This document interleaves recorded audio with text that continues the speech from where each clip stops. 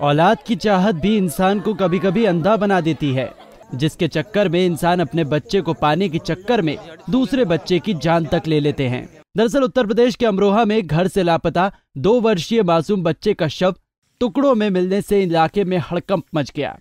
तांत्रिक विद्या की आशंका के चलते मासूम की हत्या की आशंका जताई जा रही है। घटना की जानकारी मिलते ही पुलिस के भी हाथ पाँव फूल गए।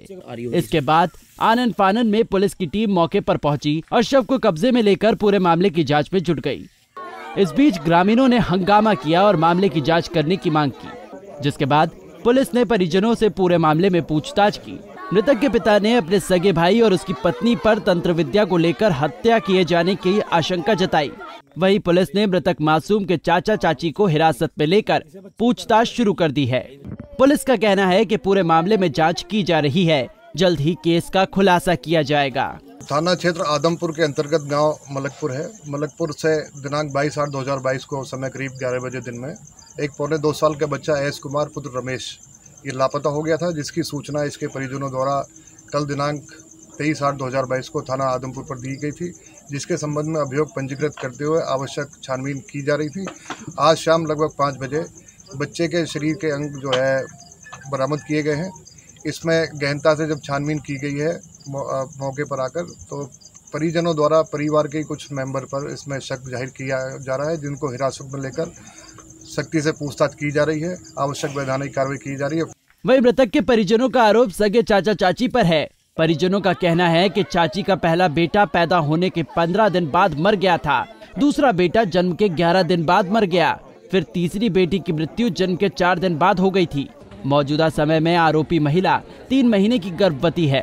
तीन संतानों की मृत्यु होने के बाद वो अपने बच्चे को जीवित रखने के लिए तंत्र विद्या के चक्कर में पड़ी हुई थी। इसलिए महिला ने मासूम को घर से उठाकर जंगल ले गई और उसकी हत्या कर दी। बता दें कि ये पूरा मामला आदमपुर थाना क्षेत्र के मलकपुर गाँव का है।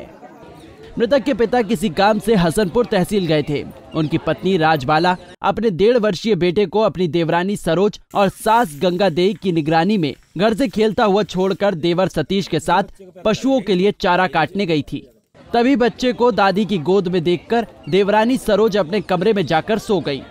इसी बीच बच्चे को नींद आने पर दादी उसे घर के बरामदे में सुलाकर पड़ोस में बैठने चली गई। इसी दौरान बच्चे का अपहरण कर लिया गया।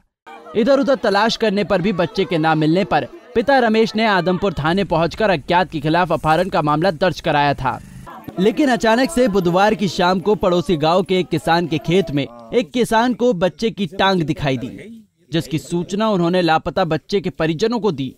उन्होंने मौके पर पहुंचकर देखा तो नज़दीक में बच्चे के फटे हुए कपड़े पड़े हुए थे। कपड़ों से परिजनों ने शव के अवशेष की शिनाख्त कर पुलिस को सूचना दी। बता दें कि मृतक दो भाइयों में छोटा था। घटना के बाद परिजनों का रो रो कर बुरा हाल है। वही जो भी इस घटना को सुन रहा है, वो भी हैरान है कि आखिर कैसे कोई इतने मासूम की हत्या कर सकता है। पंजाब केसरी टीवी के लिए अमरोहा से मोहम्मद आसिफ की रिपोर्ट। हमसे जुड़े रहने के लिए हमारे YouTube चैनल को सब्सक्राइब करें और नई वीडियो की नोटिफिकेशन के लिए बेल आइकॉन को दबाएँ। अगर आप ये वीडियो Facebook पर देख रहे हैं तो लाइक ज़रूर करें और ज़्यादा से ज़्यादा शेयर करें। धन्यवाद।